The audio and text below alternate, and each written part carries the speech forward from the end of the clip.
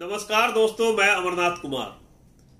आज मैं आपको एक असली बाबा के बारे में बताने जा रहा हूँ। बहुत बड़े बाबा हैं और एक नहीं, दो बाबा हैं। दोनों बाबा के विचारों को अपनाकर, उनसे मिलकर इस देश के और देश के बाहर भी करोड़ों लोगों ने उनके विचारों को अपनाया और आगे बढ़े। और उनका सात पीढ़ी तक आगे बढ़ रहा है और बढ़ेगा। लेकिन आजकल आप लोगों को गुमराह किया जा रहा है। भाजपा के नेता और दूसरे कुछ दलों के नेता आपको धर्म का चश्मा पहना रहे हैं, पखंडी बाबाओं से मिलवा रहे हैं। अब पटना में चल रहा था पाँच दिन तक हनुमान कथा, कोई धीरेन्द्र गर्ग आया हुआ था, उसको लोग बाबा बना रहे हैं। तो उसके बातचीत से लगता है कि वो पढ़ा लिखा नहीं है। और वो बाबा हो गया, उसका नाम दिया है धीरेन्द्र शास्त्री। और हमें वेदों में कहा गया है कि शास्त्री उसे कहते हैं जिसे शास्त्र का ज्ञान हो, जिसको जो पढ़ा लिखा हो। एक तो उसका नाम गर्ग है तो शास्त्री कैसे हो गया? और शास्त्री बनने के लिए उसने क्या पढ़ाई किया है? ये कोई बताएगा?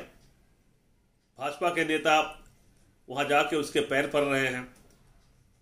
रविशंकर प्रसाद, गिरिराज सिंह, मनोज तिवारी और दूसरे कई लोग बसों में भर भर के लोगों को बुलाया। और बाबा के दरबार में उसको सर झुकाने के लिए कहा।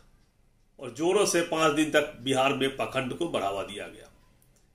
लेकिन ये भाजपा के नेता अपने बच्चों को नहीं बुलाए। उनमें से कोई भी नेता अपने बच्चों को इन बाबाओं के पास नहीं भेजा। देश के गृह मंत्री अमित शाह जी का बेटा जैसा आईपीएल चल रहा है और क्रिकेट का चेयरमैन, सेक्रेटरी है बीसीसीआई का। बहुत बड़े ऊँचे पोस्ट पे है। उनको कभी हम किसी बाबा के सामने सर झुकाते हुए नहीं देखा। गिरिराज सिंह के बच्चे को भी नहीं देखा। रविशंकर प्रसाद जी के बच्चे को भी नहीं देखा। वो विदेशों में पढ़ाई किए हैं। उनकी बच्ची भी विदेश में पढ़ाई करी है। बड़े गर्व से फ़ोटो लगाते हैं कि मेरी बेटी, देखो, दुनिया के सबसे सर्वश्रेष्ठ यूनिवर्सिटी में पढ़ाई करी है। संजय जायसवाल, भाजपा के नेता है। उनकी भांजी विदेश में पढ़ाई करती है।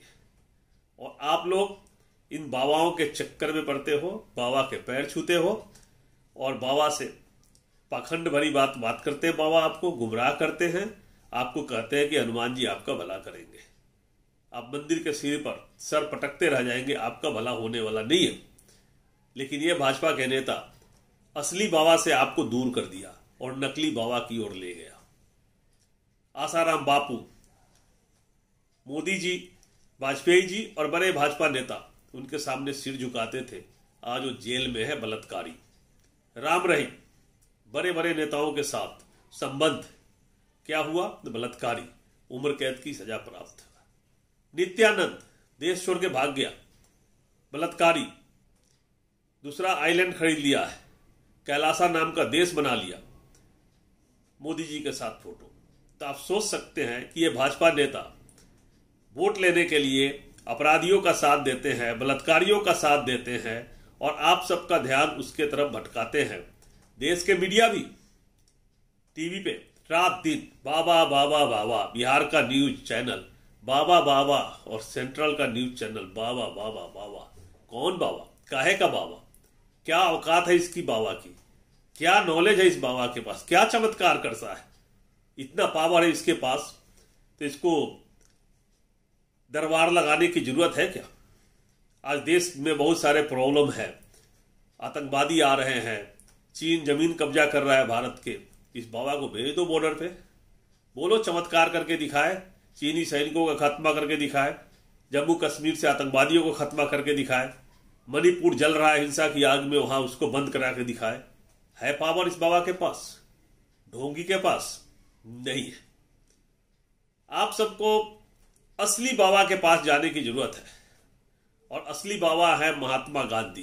बाबा गांधी, बाबा भीमराव अंबेडकर। महात्मा गांधी, लंदन में पढ़ के, साउथ अफ्रीका में barrister. Baba Saheb Bhimrao Ambedkar M A Columbia University, America से। लंदन में भी बढ़े और इतना बड़ा विद्वान, पढ़े लिखे, उन्होंने संविधान की रचना की। संविधान में आप सबको बराबर अधिकार दिया। तो बाबा साहब से आपको दूर कर दिया गया, बाबा गांधी से आपको दूर कर दिया गया। उनके विचारों पे चल के, उनके बनाए संविधान के कारण, उनके बनाए संविधान में दिए हुए अधिकारों के कारण रामविलास पासवान बड़े मंत्री पद पद पर रहे। रामविलास पासवान का पूरा परिवार एमपी और मंत्री बना हुआ। अगर जनरल कोटा में होता तो कोई पासवान जीत सकता था क्या? बिहार की बात कर रहा हूँ, चाहे कहीं पर भी। रामनाथ कोविंद क्या एमएलए एमपी बन जाते? भारत के राष्ट्रपति बन जाते? जनरल कोटे से नहीं बनते। क्योंकि एमएलए एमपी नहीं बनते तो इतने लाइट में नहीं आते। अपने जो राष्ट्रपति महोदय है एसटी जाति से है एसटी से हैं, उनको कोटे से मंत्री बनी एमएलए बनी, जो भी बनी, वहाँ से उनको राष्ट्रपति का दर्जा मिला हुआ है, बनाया गया या बन जाते जनरल कोटे से, नहीं बनते। बाबा साहब का दिया हुआ है सब कुछ। उनको किसी पाखंडी बाबा ने नहीं बनाया। उनको कोई राम रहीम ने नहीं बनाया, उनको कोई आसाराम ने नहीं बनाया, उनको कोई नित्यानंद ने नहीं बनाया, उनको कोई ये बागेश्वर धाम के सरकार ने नहीं बनाया।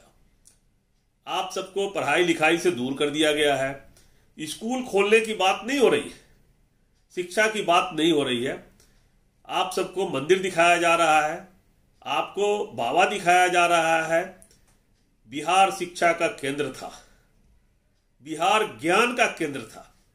महावीर, बुद्ध, जिन्होंने ज्ञान दिया लोगों को, और हिंदू धर्म से ज़्यादा लोग बुद्ध धर्म को मानने वाले हैं।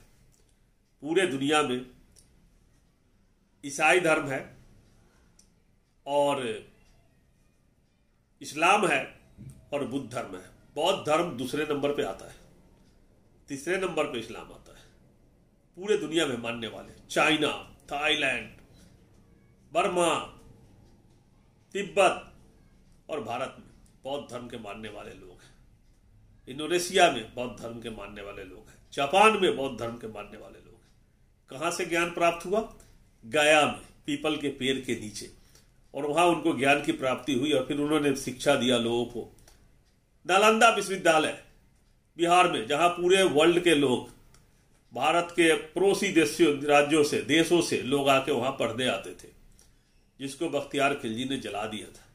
इतना बड़ा था नालंदा विश्वविद्यालय जिसमें जलते रहे छह महीने तक लाइब्रेरी तक्षशिला यूनिवर्सिटी, बहुत सारे यूनिवर्सिटी भारत में थे और बिहार में, और पढ़े लिखे लोग थे। बिहार में आज भी सबसे ज़्यादा आईएएस एस बनते हैं। बिहार में आज भी सबसे ज़्यादा आईआईटी वाले बनते हैं। और पूरे विश्व के कोने में इंजीनियर, डॉक्टर, पायलट भी फैले हुए हैं। असली बाबा बाबा गांधी, असली बाबा बाबा भीमराव अंबेडकर। अब आपको सोचना है कि आपके बच्चे के हाथ में किताब होगा या भगवा झंडा। आपके बच्चे ज्ञान का भंडार होगा या जय बजरंग गली का नारा लगाएगा, सड़क पे जाके हिंदू धर्म बनाएगा, कौन सा हिंदू धर्म बनाएगा? और कौन सा मुस्लिम धर्म बनाएगा? मैं सारे धर्मों के लोगों को कह रहा हूँ, शिक्षा ज़रूरी है ये पाखंड को छोड़ो, शिक्षा अपनाओ और इन ढोंगी, लालची और मक्कार नेताओं से दूरी बनाओ। सोचो, भगवा पहन के नेतागिरी कैसे हो सकता है? नेता रास्ता दिखाने के लिए होता है, वो आपको भगवा पहन के धर्म की शिक्षा दे रहा है। तो धर्म की शिक्षा देने के लिए इतने सारे जो साधु महात्मा थे, शंकराचार्य जैसे लोग, अब उनकी ज़रूरत नहीं रही। मोदी अब शंकराचार्य का रोल कर रहे हैं। वो धर्म का प्रचार कर रहे हैं, वो प्रधानमंत्री नहीं रहे। भाजपा के नेता अब धर्म का प्रचार कर रहे हैं, देश को गड्ढे में धकल, धकेल रहे हैं, एक धर्म का प्रचार कर रहे हैं, वो हिंदू राष्ट्र की बात नहीं कर रहे। वो सनातन की बात कर रहे हैं, कौन सी सनातन की बात करते हैं? सनातन के आर्प में देश को बर्बाद किया जा रहा है। देश पे किसी और का कब्जा है। न हिंदू का कब्जा है, न मुस्लिम का कब्जा है, देश पे किसी और का कब्जा है। और किसका कब्जा है, आपको मैं अगले वीडियो में बताऊँगा। अभी आप लोगों को शिक्षा पर ध्यान देना है। इन पखंडी बाबाओं का बहिष्कार करना है। ये बाबा को ठीक से जाँच करो तो इसमें से 99 परसेंट लोग बलात्कारी, आतंकवादी और भ्रष्टाचार में लिप्त पाए गए हैं, पाए जाते हैं। बहुत सारे लोग देश छोड़ के भाग चुके हैं। बहुत सारे के ऊपर इस देश में केस बना हुआ है। जाँच हो तो जेल जा सकते हैं। बहुत सारे के ऊपर केस है, जिसकी ठीक से जाँच नहीं हो रही है। सब कोर्ट में, न्यायालय में उसका केस पेंडिंग है।